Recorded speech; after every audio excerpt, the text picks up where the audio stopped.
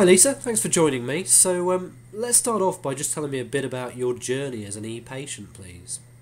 Hi. As you know, but the listeners don't yet, I have multiple sclerosis and rheumatoid arthritis. And that journey started over 11 years ago when I went temporarily blind with early MS, although I wasn't diagnosed at the time. And immediately wanted to look for information. And that's where it got started, wanting to be an educated um, person living with a possible disease. Fast forward to 2005, I was finally diagnosed with MS, and then 18 months later with RA. And after that, started a blog and became recognized as an e-patient online, being electronic and helping other people become empowered. I was sharing information, things that I had learned, and um, just really helping to help other people know how to navigate their health system and take charge myself. And um, that's kind of how it got started. And for you personally, what were the biggest challenges that you faced in actually getting the right treatment? Now, my doctor, my neurologist, prescribed a medication when I was first diagnosed with MS. That's what most new patients get is they leave the appointment with the prescription. I learned very quickly that my insurance company didn't cover the medication. And I was left to find a way to pay for it. Well, the drug company did refer me to a nonprofit who would help, but I didn't qualify for full assistance. And that was a huge struggle um, because I earned just slightly too much, um, even though I earned much less than other people in the area, like a third of the median income in Washington, D.C. And that was a huge struggle trying to get gain access to that medication that I needed as a new patient. When it's most effective is to use it early. Um, that's what studies show. And so that was a little difficult at the time. It was very stressful. And given that our audience on pharmaphorum is mainly those within the pharma industry, although we, we hope a broader audience obviously watches these, do you think there are things that pharma itself can do to better facilitate access to medicines for patients like yourself? Well, I think first off, they can be much more generous and transparent with their program requirements because that will help set up expectations. Really, truly fund the nonprofits that do provide the assistance. It can be frustrating when a patient is referred to a program and then is told, I'm sorry, we've run out of funds even if they might qualify, um, that shouldn't happen.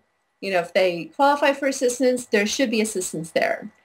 And um, sometimes taking charge, the drug companies, rather than refer to a program that's offsite that they have no control over, maybe in-house take care of that so that there is more connect and more responsibility between the company and helping the patients. And then on the other side, it would be nice if they publicize how they help people because um, that's good to know. I'd love to hear how many millions of dollars of medication is given away free to patients in need each year. You know, it shouldn't be a huge secret. I think it would be good PR. Advertise the programs. You know, definitely get the word out there at every point of contact with the patients or the doctors or the nurses and make sure there's easy information where you know where to go for contact and that you can actually reach a real person. And in the U.S., be sure to have special um, consideration for patients who are underinsured that have some insurance coverage but not quite enough because they get caught in a hole and aren't, you know, picked up by the safety net. And that is a problem here in the United States that hopefully will change um, in the future but it's something that's still going on now. I have a lot of patients who tell me they've applied, but they were denied, even though they're on Social Security or, you know, they have no income or something, you know, that there's a barrier in the way. Um, those are a couple of things that just come to mind immediately, you know, when I get talking. sure. And it sounds like from what you're saying there that there's a there's a real challenge with I guess, a whole group of patients who haven't got the right level of insurance, but I guess are earning just a little bit too much for quali- to qualify for support, which is where pharma could potentially look a little bit more in detail. Yes, I think it can be frustrating too, because um, patients with these diseases, you know, MS or RA, um, they're debilitating. They probably can't work as long. And they're not going to have as much money in savings. And sometimes what they do have in savings um, keeps them from qualifying for assistance. So I think it needs to be more than just numbers. You know, I was debt free when I first applied for assistance. And that held me back because I was a responsible person that wasn't carrying huge, you know, loans or mortgages or anything. Um, but I'm going to need my retirement monies, you know, rather than paying it for medication now. So yes, I think they need to take a closer look at the entire situation, not just that one little aspect. Now, just to move on, you said at the start of the discussion that you obviously did a lot of your own uh, research around the disease. So, what's been your experience with what I describe as the social web when it comes to finding useful information? Well, my case has been great. I have found information on websites. There are lots of pharmaceutical companies are setting up wonderful websites giving information, basic information about the diseases and what their little niche is. That's wonderful. I've found a lot of information and help from forums where other patients helped guide me when I was new. And I hope that I'm doing the same thing. My blog is Brass and Ivory, Life with MS and RA. And a lot of patients come and read what I write. And I have a carnival of MS bloggers to help develop a community. And really, it's a support system in a way that's not structured by any other entity away from it. It's sort of, you know, homegrown.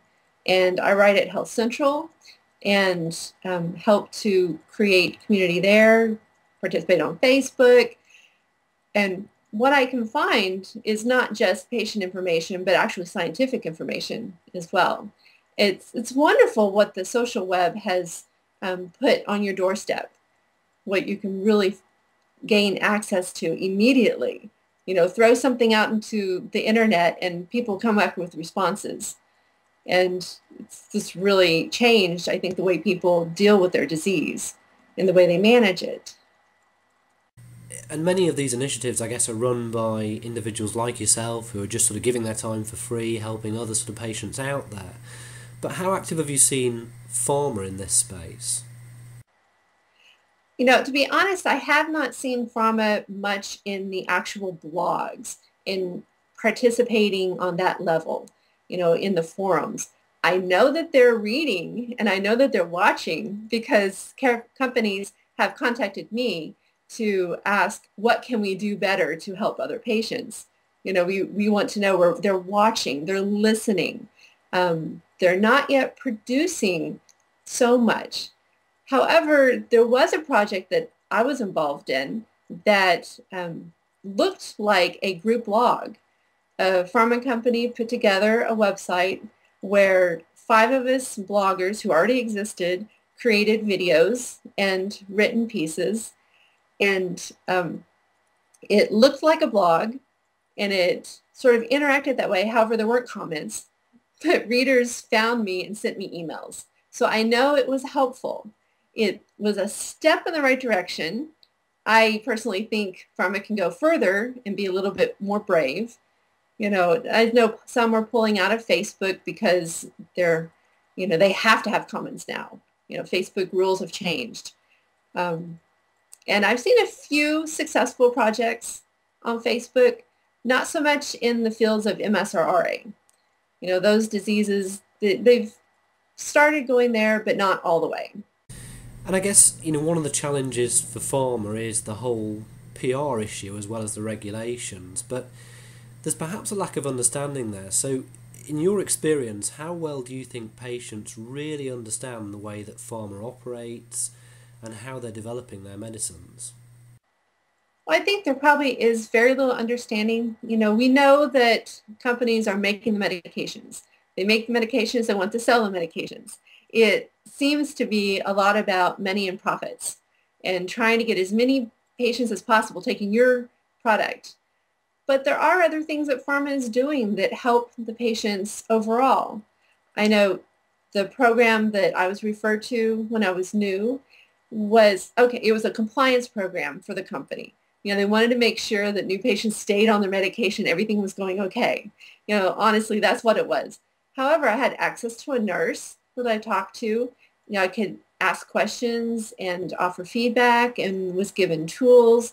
And they also offer um, webinars and in-person programs and really kind of help a person deal with this new diagnosis. And I think patients don't consider that as part of what they offer. Um, you almost assume it in a way that it's just there.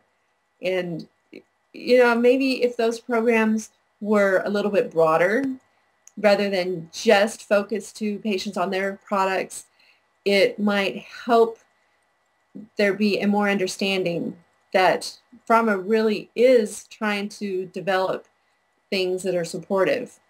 And it's nice to know that there's research going on.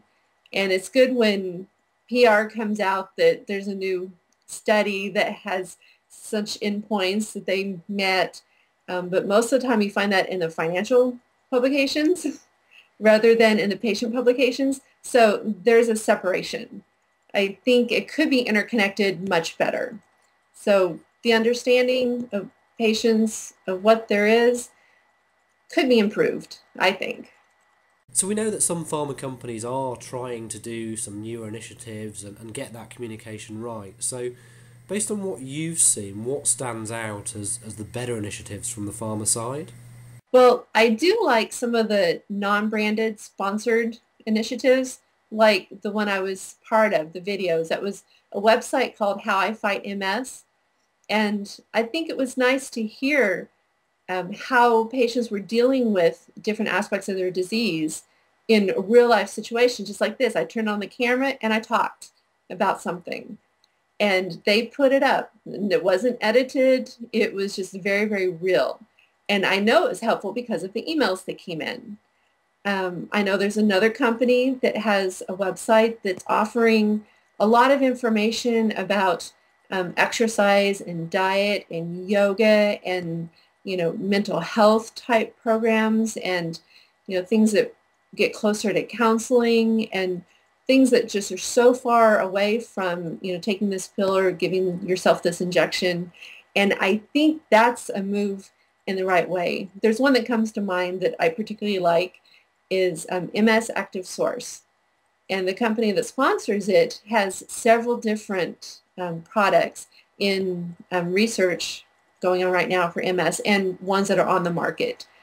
And so it's not focused on one thing. It is broader and focused on more patients. And you don't have to take the product to um, benefit from it, which is kind of nice. That, that's a good thing. So it's really about moving away from just talking about drugs and talking about more holistic disease management, which is beneficial to the patient. Right. We are so much more than chemicals, you know, in our bodies. There, there's other aspects like the financial aspect of living with the disease, the social aspects of how you interact within your network, in your family, at work, or your friends, and how to deal with other aspects of just living life things that everybody has to deal with, you know, just moving through life. It's just you happen to have this one little glitch in the way that can create some problems. And looking at people in their entire being, you know, what they might need at every step of the way. And I'm sure you've learned a tremendous amount, uh, Lisa, on your journey as an e-patient. I'm sure you still continue to learn a lot. So What's your key advice that you'd give, I guess, to, to new patients, newly diagnosed patients, but also to pharma? You know, one thing that I tell newly diagnosed patients is right up front, start, take charge of what um, you need in your health. Take notes, bring information to your doctor, ask questions, get answers, you know, get information and really become educated and take charge. And something for pharma, I think, would be to um, just be more open and transparent and get information out there and be less about marketing and be more about supporting. Well, on that note, I'll say thank you very much for your time. It's been uh, great to hear your insights. Thanks very much. Thanks, Paul.